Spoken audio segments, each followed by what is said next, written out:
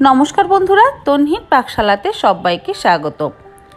রেস্টুরেন্টে কিংবা কোনো রোড সাইডে ধোসা বা ইডলির সাথে একটা নারকলের চাটনি সার্ভ করা হয়। আমার আজকের রেসিপি সেই নারকলের চাটনি। আসুন দেখে নেওয়া যাক আমি কীভাবে বানাই ধোসা বা ইডলির সাথে খাওয়ার জন্য নারকলের চাটনি। ধোসা বা ইডলির সাথে যে নারকলের চাটনিটা আমরা খেয়ে থাকি সেটা বানাবার জন্য মিক্সিং জারে নিয়ে নিচ্ছি এক কাপ পরিমাণ কুড়িয়ে নেওয়া নারকোল।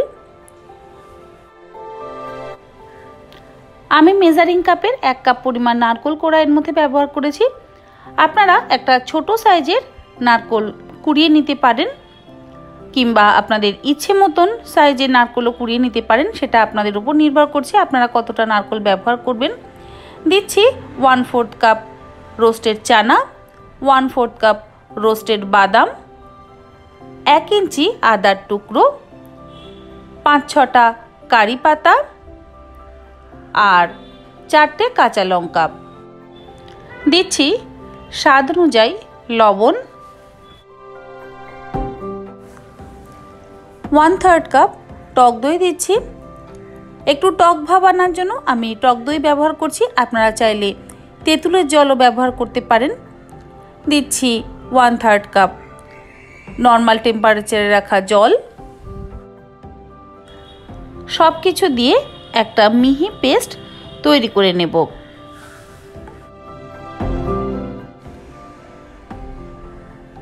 নারকোলটাকে খুব ভালো করে পেস্ট করে নিয়েছি। দেখুন, একেবারে মিহি পেস্ট তৈরি হয়ে গেছে।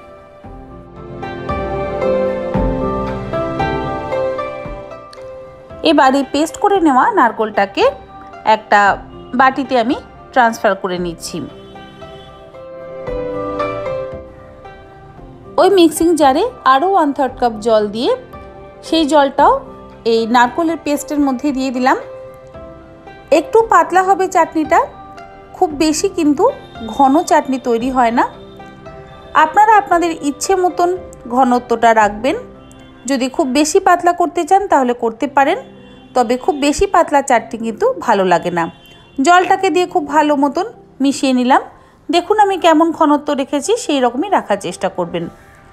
একটা তরকা প্যান নিয়ে নিয়েছি। আপনাদের কাছে যদি এরকম তরকা প্যান না থাকে, তাহলে একটা গোল ডালের হাতাও নিতে পারেন। তার মধ্যে দিয়ে দিলাম দু চা চামচ সাদা তেল। গ্যাসের ফ্লেমটাকে একদম লোতে রেখেছি। তেল গরম হয়ে গেলে এর মধ্যে দিচ্ছি এক চা চামচ রাই। রায়ের বদলে আপনারা কালো সর্ষেরও ব্যবহার করতে পারেন। দিয়ে দিলাম তিনটে গোটা শুকনো লঙ্কা, দু চা চামচ বিউলির ডাল মানে কলাইয়ের ডাল, পনেরো থেকে কুড়িটা ফ্রেশ কারি পাতা আর দিচ্ছি হাফ চা চামচ হিং। তেল খুব বেশি গরম হয়ে গেছে, সেই জন্য গ্যাসের ফ্লেমটা লো থাকা সত্ত্বেও আমি অফ করে দিয়েছি। এক থেকে দেড় মিনিট আমি একটু নাড়াচাড়া করে নেব। তারপরে গ্যাসের ফ্লেমটা আমি আবার একদম লোতে করে একটু জ্বালিয়ে নেব। তিরিশ সেকেন্ড সময় ধরে এগুলোকে একটু ভেজে নেব। তারপরে গ্যাসের ফ্লেম বন্ধ করে দিচ্ছি। নারকলের চাটনির জন্য তরকা একদম রেডি এবারে মশলার তরকাটা ঢেলে দেব।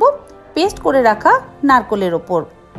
খুব ভালো করে মিক্সড করে নেব।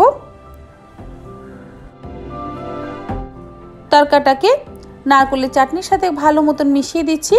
আমাদের নারকলের চাটনি বা কোকোনাট চাটনি একেবারে তৈরি।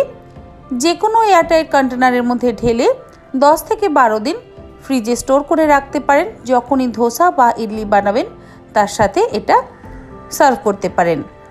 রেসিপিটা কেমন লাগল অবশ্যই জানাবেন। যদি ভালো লাগে, একটা লাইক করবেন আমার চ্যানেলে নতুন বন্ধু হলে চ্যানেলটা সাবস্ক্রাইব করে নেওয়ার অনুরোধ রইল। পাশে থাকা বেল আইকনটা অবশ্যই প্রেস করে দেবেন, কারণ আমি চ্যানেলে যখনই কোনো নতুন রেসিপি দেব, আপনাদের কাছে খুব তাড়াতাড়ি পৌঁছে যাবে। আজকের মতো এই পর্যন্ত আবার হাজির হয়ে যাব নতুন কোনো রেসিপি নিয়ে। ধন্যবাদ।